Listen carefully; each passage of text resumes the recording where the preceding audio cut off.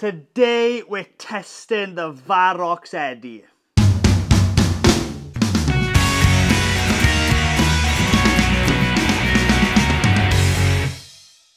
Hello, I'm Griffiths. Welcome to Gwenyn Gruffydd. Here we talk everything beekeeping, farming, countryside living. Now we do reviews as well. Now today I'm testing and reviewing the Varrox Eddy. Now I just want to say I'm not getting paid to do this review but I have been given this for free for a couple of weeks just to try out the unit, see what I think of it, and then give you a review and a demonstration in this video. So no money has changed hands, but I've had this for free just to try out, but this will be returned to Andermatt. I just want to say thank you very much to Andermatt UK for sending me out this unit. Hopefully I can do a good review. It's a brand new uh, tool for the beekeeping market here in the UK. It's come from uh, Switzerland and the whole point of this machine is, is to kill varroa mites by taking oxalic acid or Api-Bioxal and to turn that solid into a gas, vaporize that in a hive. That gases then kills the varroa mites and this treatment here or this application device is very very interesting this is a, a, battery, so there's no cable needed, there's no, need to carry a generator and there's no need to carry any kind of blowtorch or anything. Everything's in this one unit, totally portable. You just charge a battery and this is the first of this kind on the market that I'm aware of. It is in the UK at least. And uh, I just want to open the box up, show what we've got in here, and then take it out into the field, give it a good test run, and then come back here see what the verdict is. So let's take a look. So inside the box, everything in here comes with it. So we've got some instructions, simple to follow, color diagrams, the instruction manual, and then we've got the appliance itself. So this is the battery. So it comes with one battery and one battery is enough to do roughly 15 hives. So the majority of the industry, which is a hobby market, one battery is going to be enough to do all your hives. So we've got the main unit itself, a charger for the battery, and that's all this charger does is it slots into the battery like so, and just plug it in. Then there's a red light on the charger. Once that turns green, the battery is full and then we've got these two cups which you actually put the oxalic acid or Api-Bioxal in. So I'll just assemble it quickly here, show you how it works basically. This slots directly into there. Click that on hold that on for three seconds, that comes on. Now if I were to press that button again, it starts heating up the cup there and if you put oxalic acid or Api-Bioxal in there, it'll turn that solid into a gas. But we don't want to do that, so we're just going to turn it off. And it's super, super simple to use. It's just a one-button system. There's no instructions or go into menu and fiddle about with the settings. It's just pre-built, one button. So I'm just going to hold this in again and it's off. So a little bit about its features. So obviously the main feature is this is totally portable. All of this fits in this box. Keep that in the pickup. You can drive to anywhere and you're good to go for 15 hives. I mean, nothing on the market really offers that kind of ease of application other than if you were to go down a blowtorch option. Uh, plenty of those types on the market.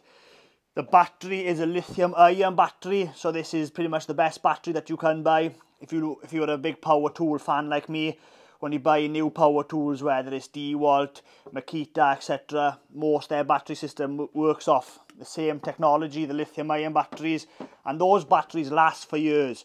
So you don't have to worry about buying this and after a year the battery's gone totally dead and you've got to constantly charge it. These batteries do last a fair old time before they need changing. I mean, I think I've got my, if you're thinking of my cordless hand drill, um, I think I've got some six, seven years old, being used all the time, and that, that's a lithium ion technology battery. I have got older ones, but I'm not sure if they are lithium-ion batteries. But the technology there is very, very good. And say you've got more than 15 hives, you can buy another battery. Two batteries fit in this case, so you're good to go for 30 hives then. Or if you've got 15 hives per apiary, say, and there's a fair old drive in between, you actually can charge this up in the car. If you were to buy a small inverter charger, that fits in the 12 volt system of your car. That knocks that up to 240 volt. So you can charge this in the pickup as you're driving around. I know I do that with some power tools in the pickup. I've got a charger there in the front seat. This will charge up easily on that because this all this will only need a small amount of electricity to charge this up. So as long as your inverter converts anything up to roughly 240 volt, it's going to be more than enough to charge this. Another great feature about this is it's got a built-in scale in the head here. So if we were to overfill this with oxalic acid, the device would not fire up, it wouldn't steam up. So overdosing with this appliance is very difficult to do so. That's a fantastic feature in itself. And the heating ring, the technology around this heating ring, totally innovative. I think uh, these guys are the first company to have done this technology in a Varroa treatment uh, machine.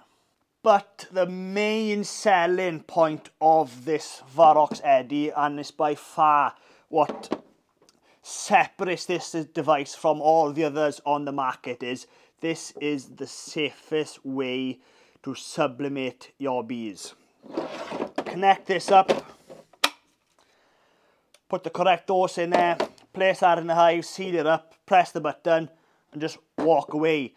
You can leave it 10 minutes with this in, it doesn't matter. If say, for example, you're really worried or um, a bit scared of sublimating or creating uh, a gas with oxalic acid, which it is a dangerous process. You've got to wear your correct PPE.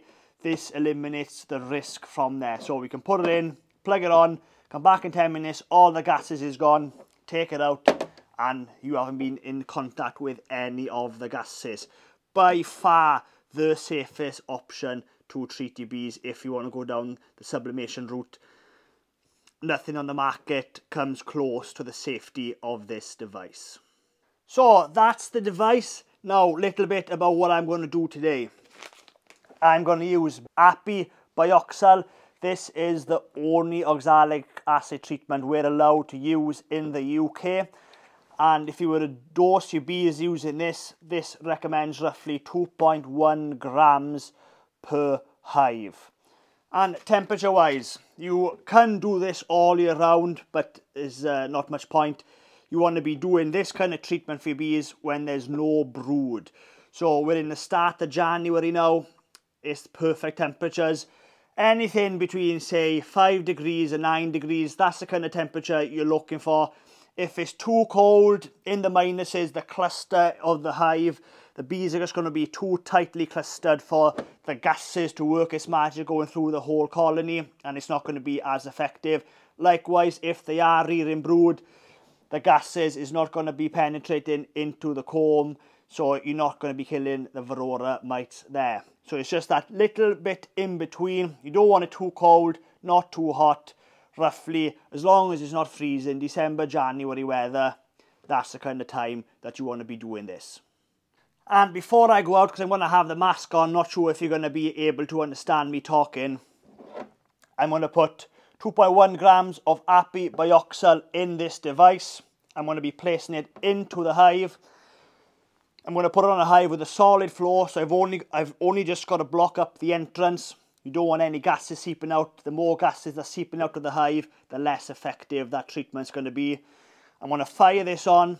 I'm going to leave it for 10 minutes, take it out, and that's job done. And then after treating the hive, I'll run this unit on the roof just to see how well this creates the vapour and uh, how well it goes through the Api Bioxal just for you to see if it's any good or if it's the kind of thing that you want to buy.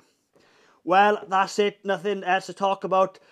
Get down to some bees, treat the hive, see how it works, and then come back to the studio to recap. Right, so we're out on site and we're going to treat this hive with the Varrox Eddy. Now, before I treat this hive, I've got my PPE. So I've got a, a mask suitable for oxalic acid uh, application. I've got suitable goggles and I've got acid resistance gloves. So the way I do this I'm going to put all the PPE on first, then I'm going to start fiddling with the oxalic acid because you don't want cross-contamination. So if I've been fiddling with the oxalic acid here, haven't washed my hands, there's nowhere to wash my hands right out here. And then I'm going to put the mask on, potentially I could be putting oxalic acid on my face. So I'm going to put all the PPE on now. And once I finish treating with, with the oxalic acid, put everything back safe, I'm going to take my gloves off. So the trick is pull the glove in on itself so any oxalic acid on the glove stays inside the glove and then with my bare hands take the PPE off. That's the safest way to do it. So nothing to do now but to treat this hive. And just a quick tip when you're putting your mask on, you want to make sure this is totally sealed. So there's two tests you can do. The breathe in test. So make sure the mask is on Breathe in deep and make sure you can't feel any air coming through the seal. So you want this as tight as you physically can. You don't want any of the gases coming in from the side. Breathing in heavy, can't feel anything, and the same then, breathing out. Still, I can't feel any gases moving around the seam of the mask, so I know this is on properly. Right, job done. Let's treat this hive.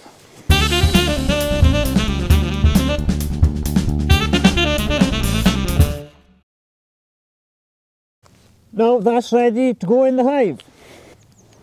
So we've got the oxalic acid in the Varrox Eddy. We're going to place that inside just like so.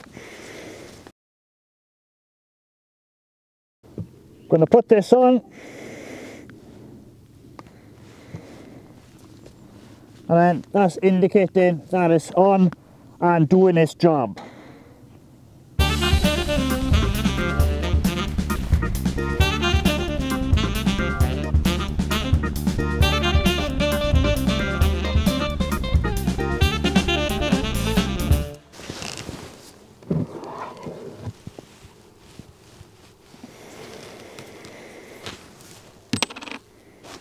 So we're just going to keep that shut for roughly 10 minutes and then we're going to remove that. Well, that seemed to have done the job. Now let's test this and see exactly how it works. So same again, you just put the other cap in there now.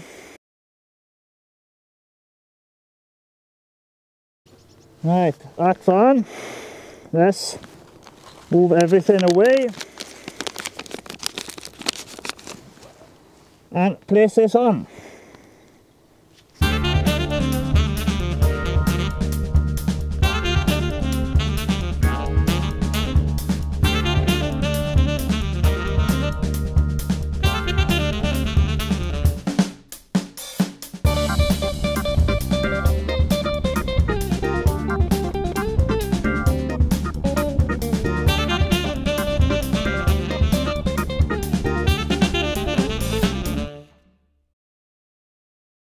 Well, that's it.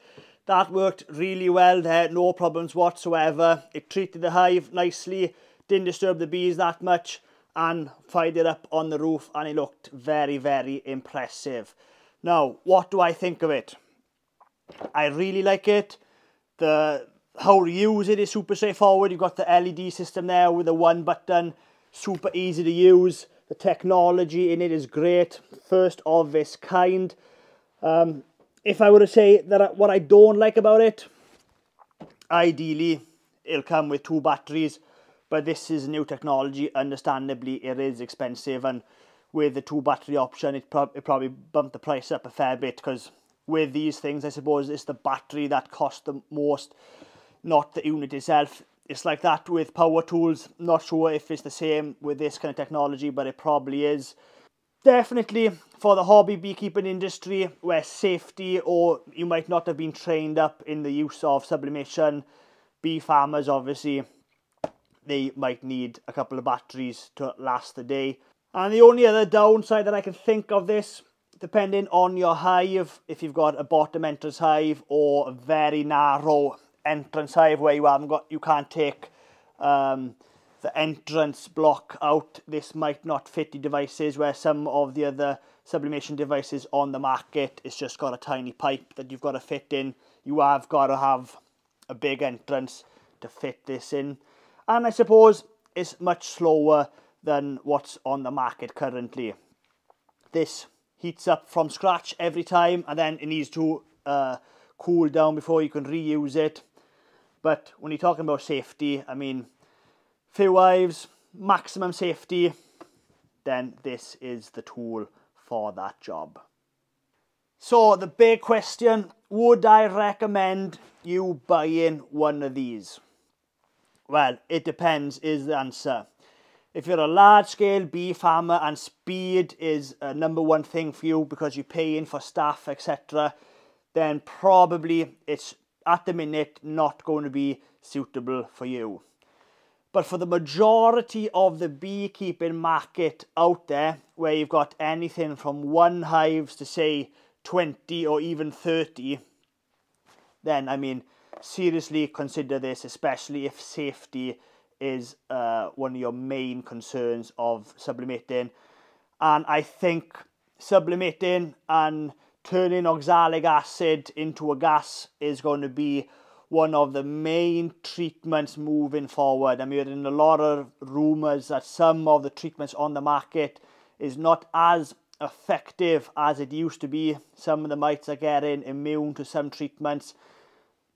Varroa mites can't get immune to oxalic acid, so this may be in the future one of the only options we've got to kill Varroa mites. And sublimation is new to me. I haven't done a great deal of it in the past, but moving looking forward, I think I'm gonna be doing a lot more of it. And I'm just gonna make a quick prediction here right now. I think this is a fantastic invention, a fantastic way to treat your hives. And I'm going to go out there and say this is uh, this is obviously a first generation uh, using the lithium ion battery. I can only see this technology getting better with batteries being more powerful, with batteries holding more charge where the two downsides of this is it's a little bit slow and the battery needs time to build the heat up and then cool down again, I think that's going to be uh, improved in years to come. I'm seeing that in the power tool industry where if you were to go back 10 years and tell me an electric cordless chainsaw would exist, I'd have laughed.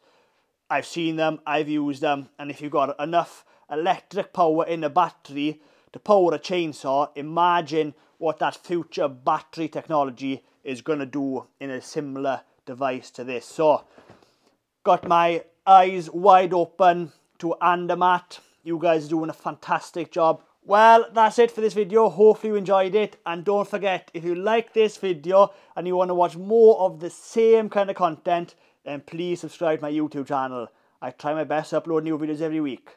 Thanks for watching.